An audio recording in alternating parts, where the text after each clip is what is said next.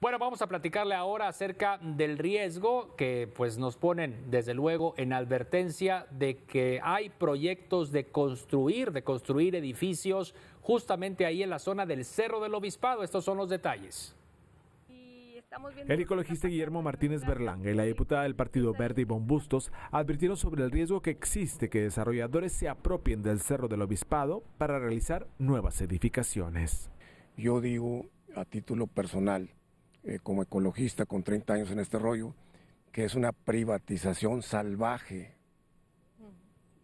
O sea, ya lo vivimos en Fundidora, ya lo vivimos en La Pastora, ya lo vivimos en el río de la Silla. Estos no andan vacilando, van por todas las canicas con el contubernio de empresarios voraces, de un gobernador ignorante del tema de la sustentabilidad los grandes retos de las ciudades inteligentes del mundo es rescatar espacios públicos única y exclusivamente para dos temas, el tema ambiental y el tema de calidad de vida.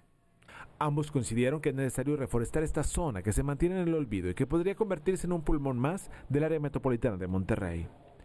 Cerro del Obispado es un área que para mi gusto está olvidada dentro de la ciudad porque la hemos ido invadiendo con construcciones y cambios de uso de suelo que se han ido haciendo a lo largo del tiempo y bueno pues ahora nos urge preservarla dentro de dentro de toda esta mancha urbana que se ha expandido el ecologista y la legisladora hicieron el exhorto a las autoridades y a la ciudadanía para que se proteja la montaña y se preserve su flora.